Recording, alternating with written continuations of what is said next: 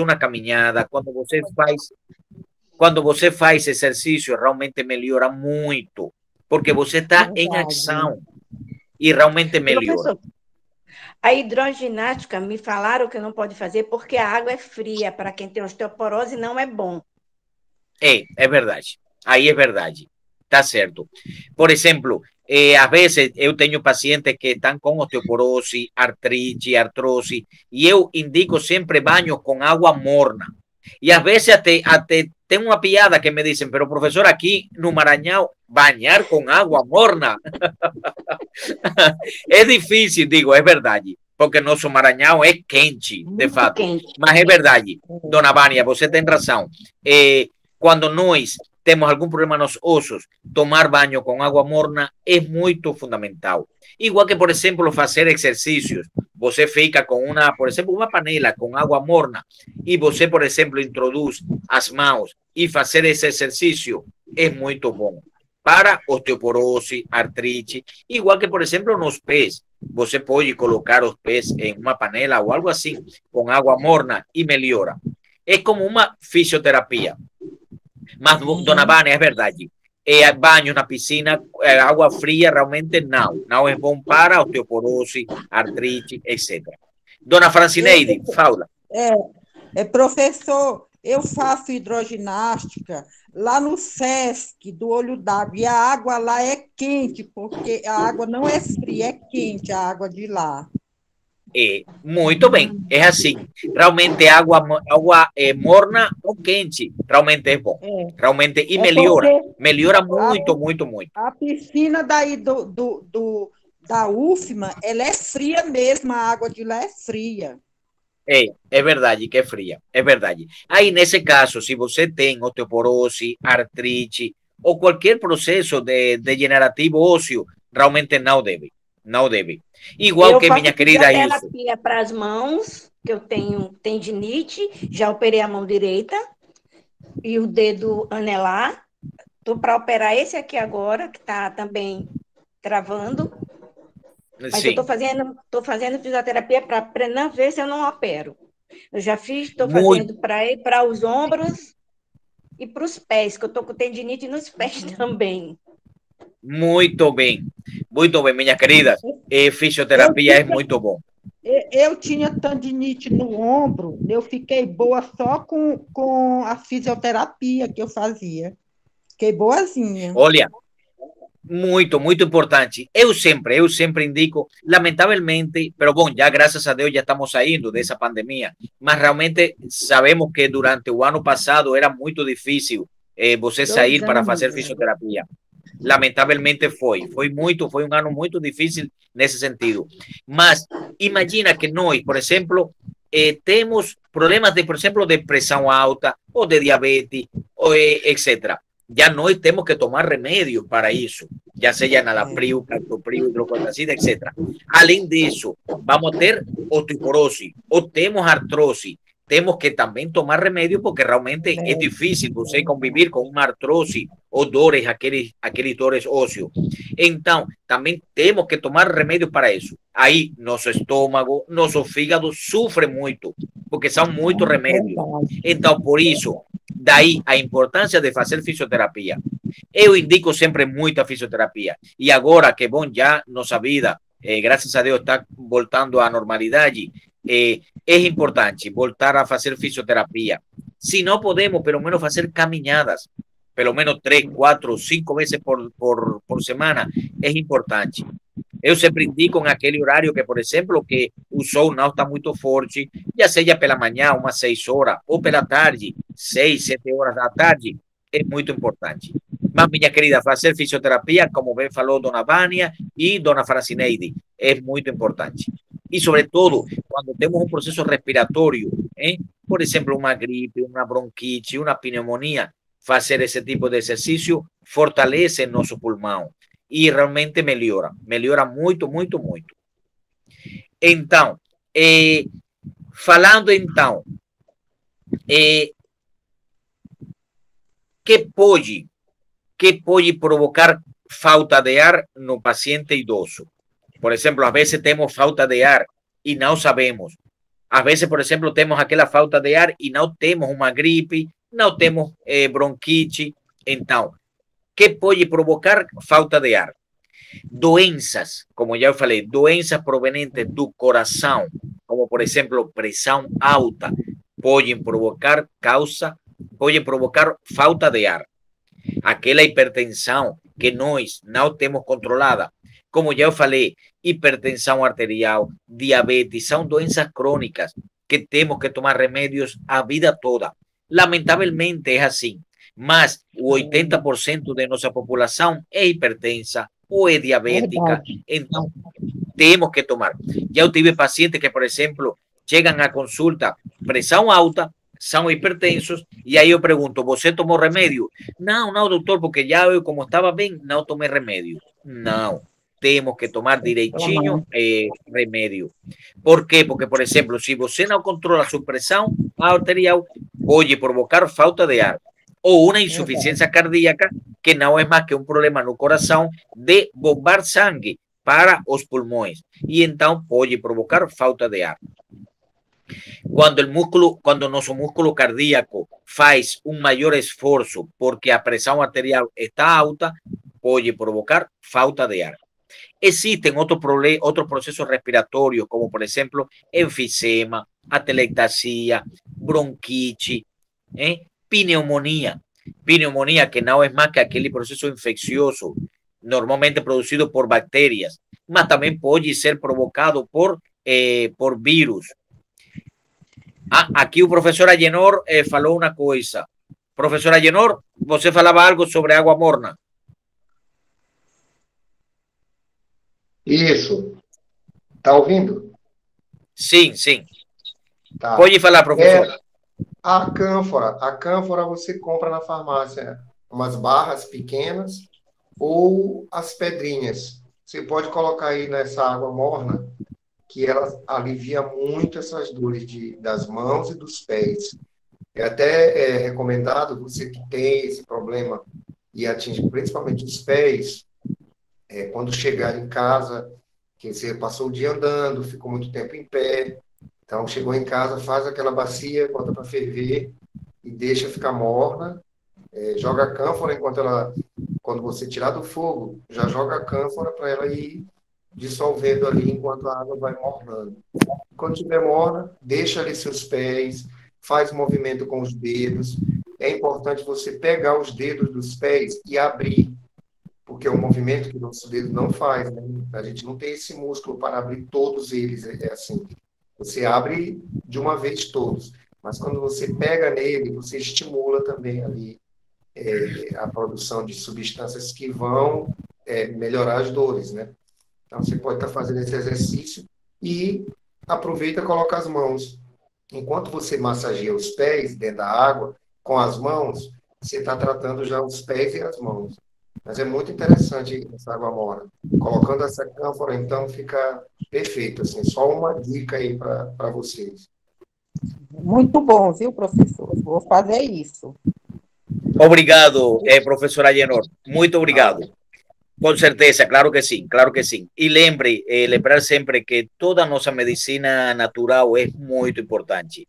A veces más que aquellos medicamentos que tomamos, ¿eh? porque la medicina natural es, como ven dice la palabra, natural. Es una cosa mucho más eficiente que a veces que los remedios que tomamos.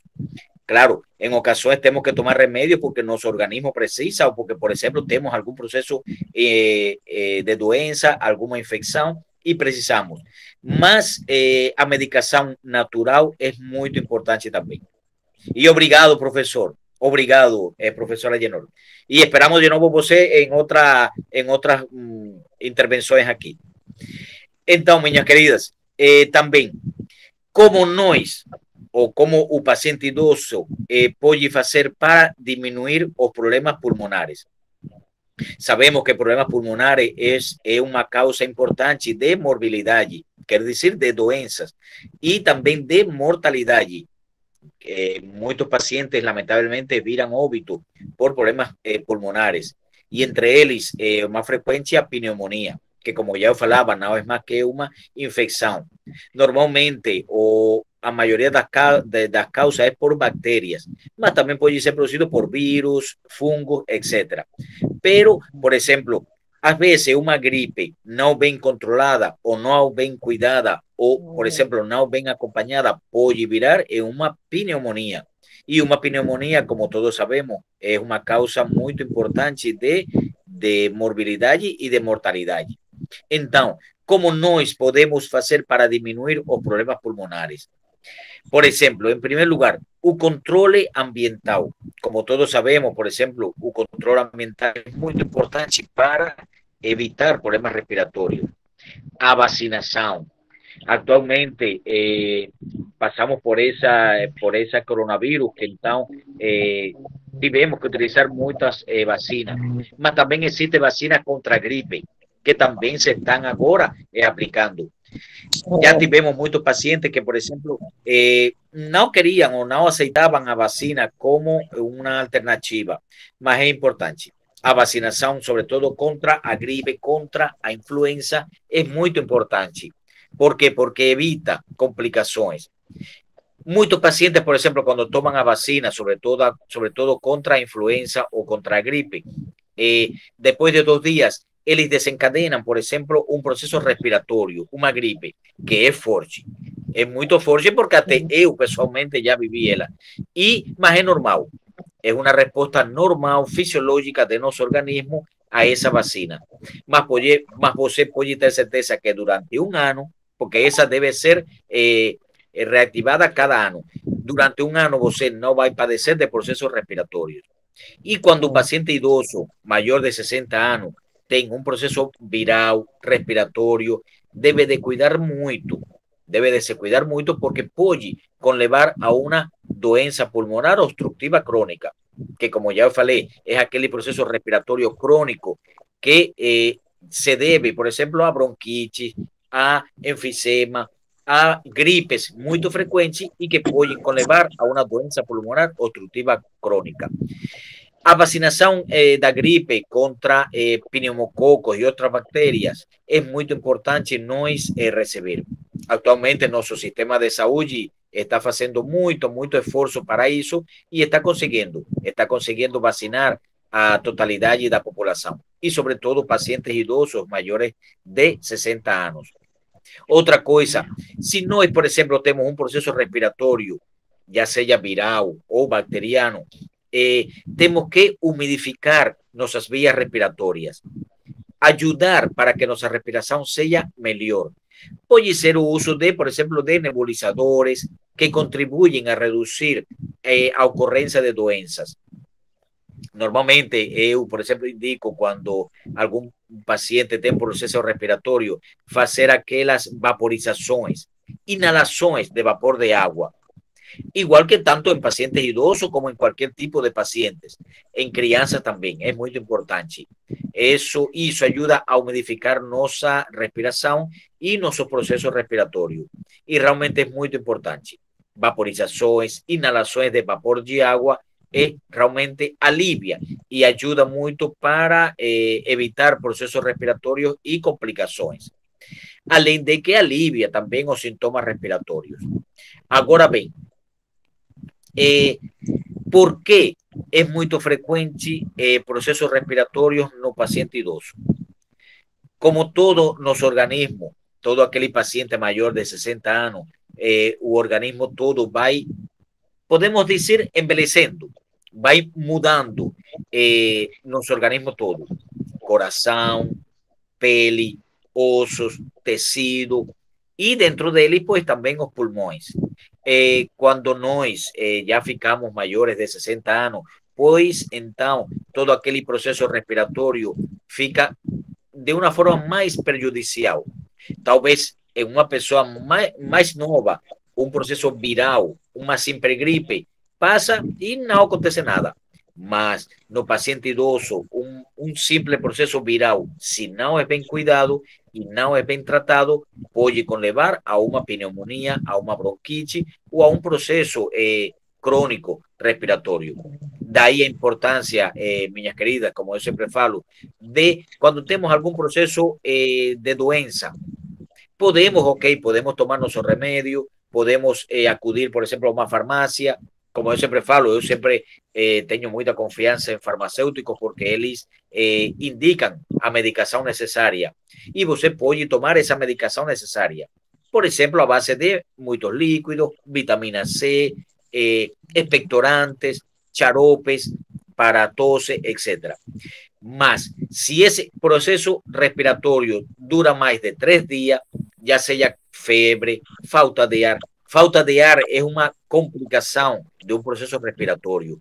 Entonces, como por ejemplo, no estivemos ahí no COVID-19, 19, que por ejemplo, cuando ya aquel paciente ya comenzaba con falta de ar, ya era una, un, un sinal o un síntoma de agravamento.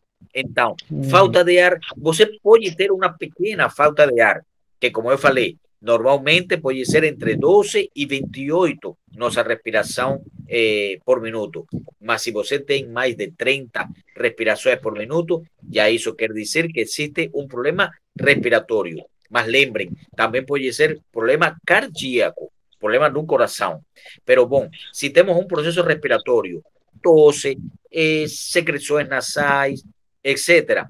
Aquele mal-estar que pode provocar também uma gripe, mas além disso temos falta de ar, já é um sintoma ou um, uma sinal de agravamento respiratório.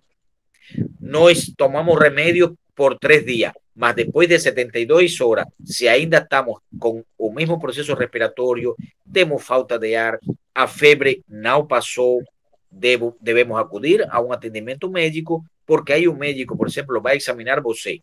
Puede ser que você tenha una bronquitis, puede ser una bronquitis viral, beleza. Puede ser una bronquitis pneumónica o bacteriana. O, por ejemplo, puede ser una pneumonía. Ahí entonces ya você va a requerir, por ejemplo, otro tipo de tratamiento, ya sea antibióticos, eh, ya sea antibiótico por vía oral, en comprimido, xarope, o tal vez si você requiere, entonces puede ser tratamiento por vía de eh, a través intravía de, de, de das veias o intramuscular o antibiótico. Daí a importância de cuidar sempre qualquer processo respiratório, minha querida. Temos um processo respiratório, ok, estamos tomando remédio, passaram três dias, você não melhorou, você, pelo contrário, fica pior, aí você precisa um atendimento médico. Aí o médico vai examinar você, aí ele vai decidir si você precisa trocar de tratamento ou se você precisa tomar novos medicamentos. Porque um processo respiratório, quando você não cuida bem dele, pode conlevar aquela doença pulmonar obstrutiva crônica, pode levar a conlevar a uma pneumonia, a uma bronquite, que não são mais que processos inflamatórios de pulmões e de vias respiratórias. Então, é importante, é importante cuidar cada detalhe, cada, cada proceso respiratorio. Ayudar a, por ejemplo, a mejorar a través de tomar muchos líquidos, vitamina C. Vitamina C que, por ejemplo, puede ser a través de comprimidos, de charope o a través de eh, frutas cítricas, limón, laranja, abacaxi, etc. Vitamina C, eh, queridas, yo siempre indico mucho, sobre todo paciente mayor de 60 años, debe tomar pelo menos por tres meses, no más de tres meses, Ah, aquí un profesor de eh, Ayenor dice que Ucharope de Urucum también es importante. Urucú, Ayenor, profesor. Então, é importante. É... Oi, sim. Desculpa. desculpa. O eu não, conseguia, eu não conseguia ligar o botão do, do, do microfone. É, o xarope ah, de urucum a gente, a gente já até fez na, acho que na segunda ou terceira aula. Eu não sei se vocês lembram que se faz da semente do urucum, né? Aquele corante, famoso corante do tempero. Mais uma vez o tempero servindo como medicamento, né? Então esse xarope de urucum se vende, é, se vende muito nas farmácias porque ganhou realmente reconhecimento que ele restabelece é, para pessoas que tipo, fumaram a vida toda, não fumam mais, mas tem aquela dificuldade, aquele cansaço. Então, ele restabelece essa força, tônus, né, o tônus pulmonar, melhora a respiração, melhora inspirar e expirar, esse exercício que a gente tem que fazer. É, também é importante, né? até na fisioterapia, Rones, é, a gente vê muito esses exercícios né, de respiratório. Tem até aparelhos que estimulam você ficar soprando com força para estimular a volta dos, dos sintomas pulmonares. É. Mas o xarope eu tenho, assim, eu tenho esse é aparelho, é dos... professor, aqui. Eu tenho, Isso. quando eu tive Covid, aí o meu fisioterapeuta mandou comprar, eu tenho esse aparelho. É, pois é, é desse que eu estou falando. E outros exercícios, assoprar um saco de um quilo e tirar para restabelecer esses músculos, fazer o, pulmão é, ficar melhor, melhorar a sua respiração. E o urucum, muito bom, bronquite, asma brônquica, é, pneumonias, é, a, a, idade do, do, pulmão, se já tiver é, um pouco mais danificado, prejudicado, né, pela vida toda, por tudo que você aspirou por aí. Então, esse urucum é muito, muito bom mesmo, para isso eu recomendo. Ele realmente é bom, viu? Garanto, é. porque minha mãe, quando começa a, a aparecer gripe nela, aquele pigarro, aquela folha chata, menino, é tiro e queda. Dá a colher de xarope de urucum para ela que nem avança. Eu também estava com uma rouquidão horrível, uma, uma, uma, gripe, uma tosse, sei lá, um catarro, não saía catarro, era só aquele incômodo, mal-estar na garganta, como se fosse gripar. Tomei, três dias sumiu. É, é muito bom. Com certeza. Claro que sim.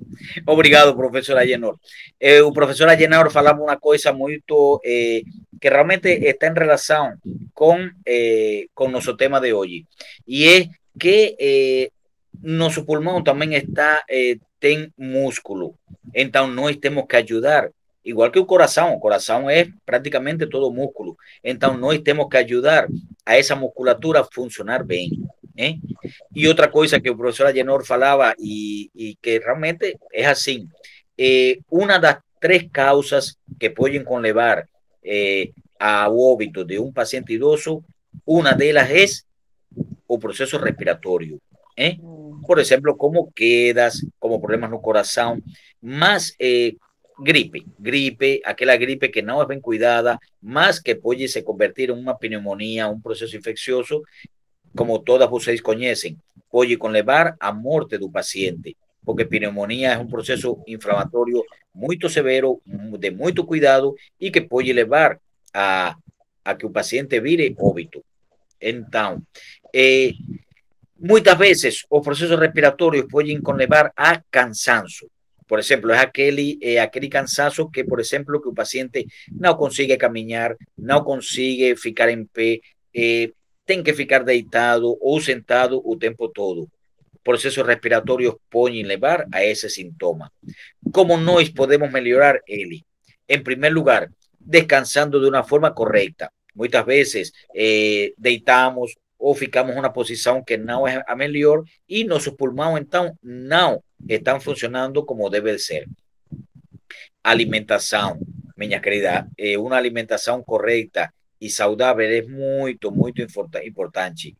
Como yo falaba, eh, siempre yo indico en todo paciente mayor de 60 años, eh, vitamina C, ácido fólico, ¿por qué? Porque ellos ayudan para la circulación de sangre, para evitar, por ejemplo, un accidente vascular encefálico, un derrame, para evitar procesos respiratorios.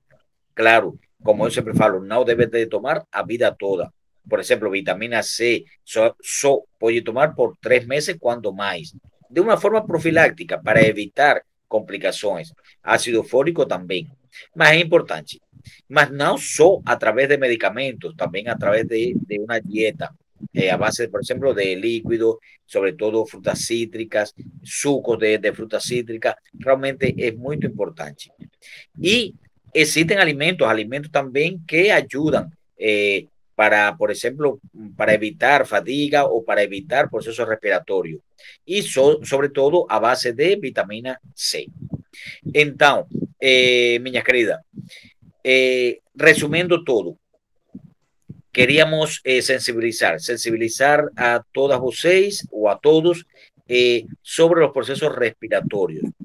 Actualmente, como você sabe, pasamos toda esa pandemia y los procesos respiratorios fueron eh, a base eh, a causa número uno de, de morbilidad de morbilidad, y quiere decir de doenças en nuestra población. Más un paciente mayor de 60 años es mucho, es mucho más frágil, mucho más susceptible a complicaciones del proceso respiratorio. Como ya falábamos, você tem un proceso respiratorio, ten que se cuidar. No puede esquecer que puede se convertir o puede conlevar a una complicación muy severa y triste también. Entonces, tenemos que cuidar nuestro proceso. Tenemos que, por ejemplo, eh, tomar mucho líquido, eh, tomar remedio. No pasó ese, ese proceso viral o ese proceso respiratorio en tres días, pues tenemos que acudir, acudir a un médico. Existen muchos procesos respiratorios. Puede ser una gripe, puede ser una bronquitis, puede ser una pneumonía, puede ser un acceso pulmonar. Más eso, eso va a ser diagnosticado a través de un atendimiento médico, a través de examen. Muchas veces, por ejemplo, precisamos hacer un rayo X tórax para, para eh, avaliar si está todo Ok? Entonces, bom, eh, alguma dúvida? Alguma coisa que queiram saber vocês? Eh... Pessoal, uma pergunta. Me fala, me fala. Eu tinha uma, uma, uma tia já idosa, ela era não era nem fumante, é aquela, aquele velho que masca, não sabe? Come o, o fumo, sei lá, aí joga para fora aquela coisa. Ela teve problema.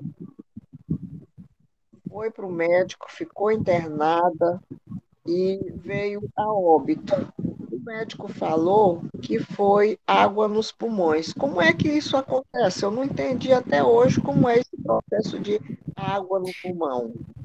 É, isso é uma complicação. Isso se chama um derrame pleural.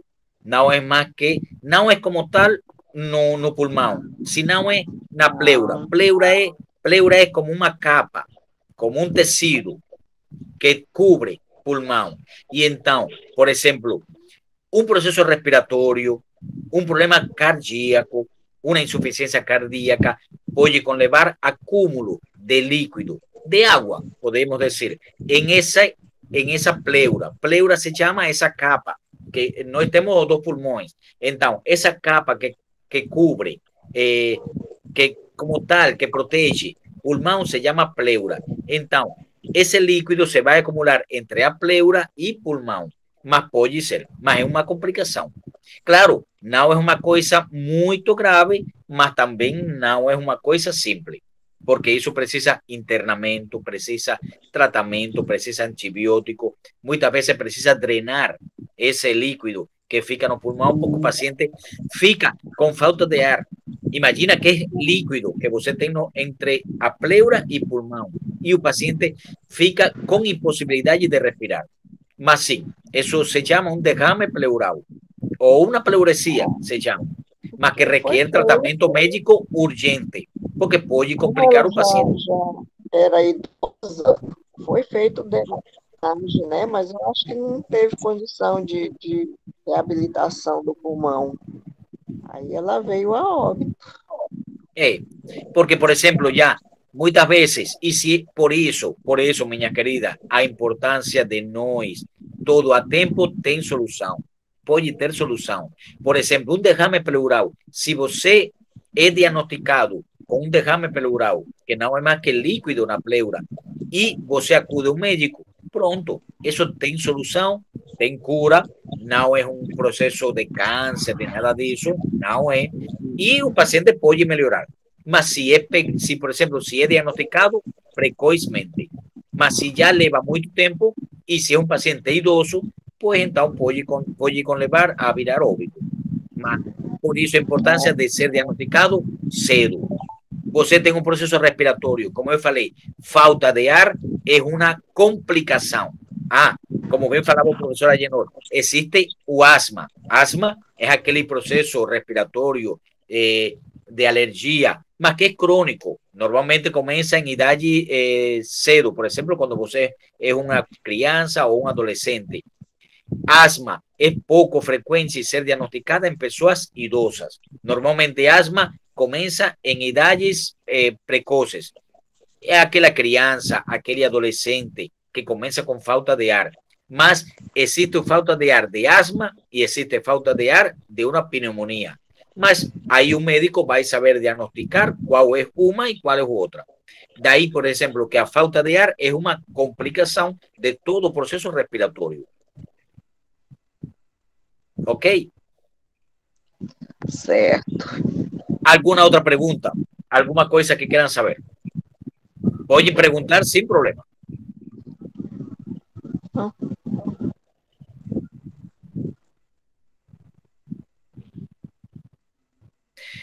Bom, então, queridas, eh, nos, nosso objetivo era esse, eh, que vocês conheçam um pouquinho mais sobre problemas respiratórios, que como sabemos é uma causa muito frequente em todo paciente de qualquer grupo etário, de qualquer idade, mas pode ser uma complicação em um paciente idoso, em aquele paciente maior de 60 anos, pode ser uma complicação que pode levar a complicações muito severas. Talvez em uma pessoa mais jovem, mais nova, uma simples gripe, passou e pronto. Mas em um paciente idoso, uma simples gripe pode levar a uma complicação. Importante uma coisa, se temos um processo viral respiratório, devemos evitar ficar deitados o tempo todo. Temos que ficar em movimento.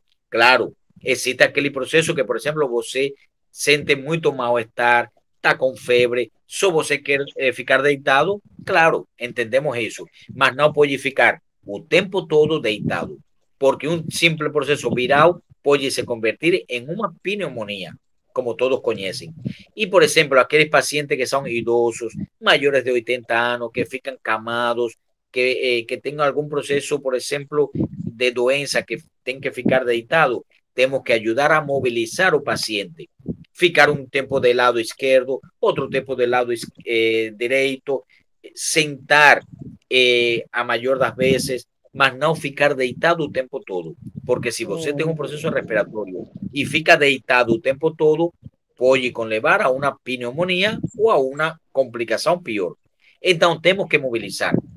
Ok, sentimos mal-estar, podemos deitar un tempinho, mas también, por ejemplo, sentar na sala, sentar en una cadeira, para, para ese mal-estar. Mas não devemos, devemos evitar o maior tempo possível ficar deitados o tempo todo. Ok? E se temos febre, se temos falta de ar, já pode ser sinais ou signos de, por exemplo, de uma complicação respiratória. Aí então temos que acudir a um atendimento médico, porque então podemos precisar de um tipo de de medicamento mais específico. Ok?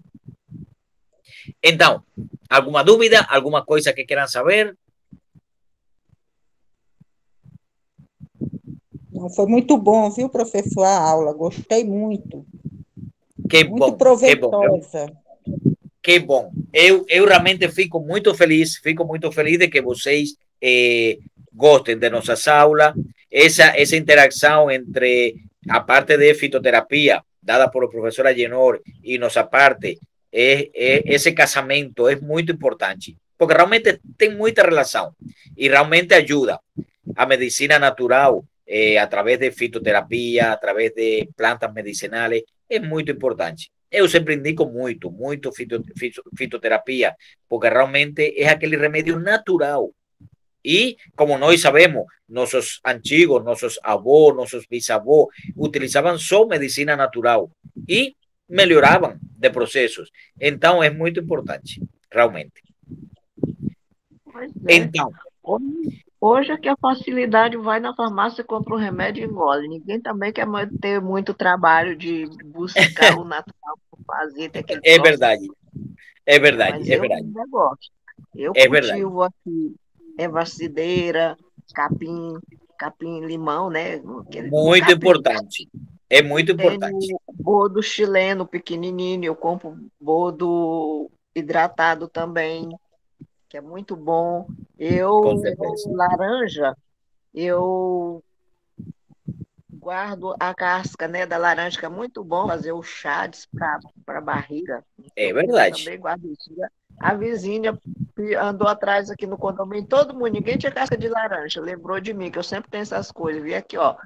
É eu verdade. tenho casca de laranja seca, né, para fazer chá. Essa semana mesmo eu fiz. Muito pra bom. mim. Eu tenho cravinho, eu sempre tenho para que é bom também fazer chá de cravinho, É, cravo, realmente é cravo, muito importante. É alfazema, todas essas coisas eu tenho em casa. Que bom, que bom. Muito ótimo. Muito bom também Ok. que o meu, o meu geriatra, ele passa muito remédio manipulado. É, Mas ele Exatamente. não passa remédio natural, de é. farmácia, mas é manipulado. Eu gosto muito. Claro que sim. É muito importante também, com certeza. ok, minha querida. Então, na próxima semana vamos a falar sobre um tema que é muito importante. E não é mais que acidente vascular cerebral. Cerebral. Quer dizer, derrame, isquemia cerebral, hemorragia. Vamos a falar sobre esse tema, os sintomas, sinais que você tem que ter de ficar de olho, porque podem falar sobre um acidente vascular cerebral, sobre uma de, um derrame. Então, na próxima semana vamos falar sobre ele, que é um tema muito bom. importante para todos. Tá bom? Ok, minha querida. Então, mais uma vez, foi um prazer enorme eh, falar com vocês, interagirem com vocês e foi ótimo. Muito, muito bom. Obrigado pela presença de todas vocês. Obrigado, Nós que professor. Agradecemos, tá? Tenha um bom dia e bom final de semana, professor. Ah. Saúde paz. Igualmente, bom final de semana para todos. Ah, Tchau. com Deus. Que Deus te abençoe. Obrigado. Obrigado, igualmente. Obrigado.